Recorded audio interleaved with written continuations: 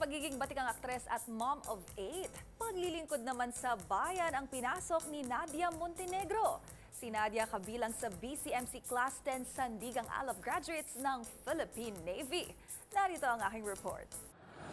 Sa edad na 52, isa ng ganap na Philippine Navy Reservist si Nadia Montenegro, kabilang ang aktres sa Class 10 2024 ng Basic Citizen Military Course.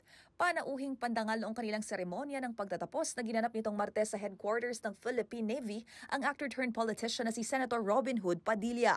Ayon naman kay Nadia, ito ang kanyang naging hakbang para higit pang makapaglingkod sa bayan. Sumailalim ito sa 30 araw na training kung saan mas nakilala pa raw ng celebrity mom ang kanyang sarili.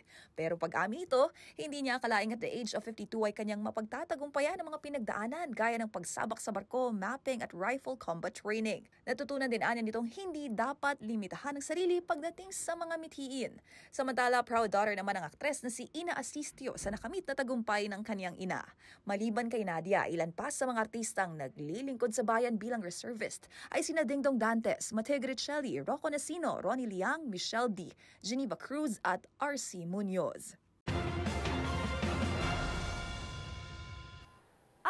Aking pagbabalik, beauty queen turned actress na si Rabia Mateo. Umalma sa kumakalat na chismis na nagpa-VIP daw ito sa dinaluhang concert kamakailan. Manatiling nakatutok dito lang sa MVC TV Network News. BRB.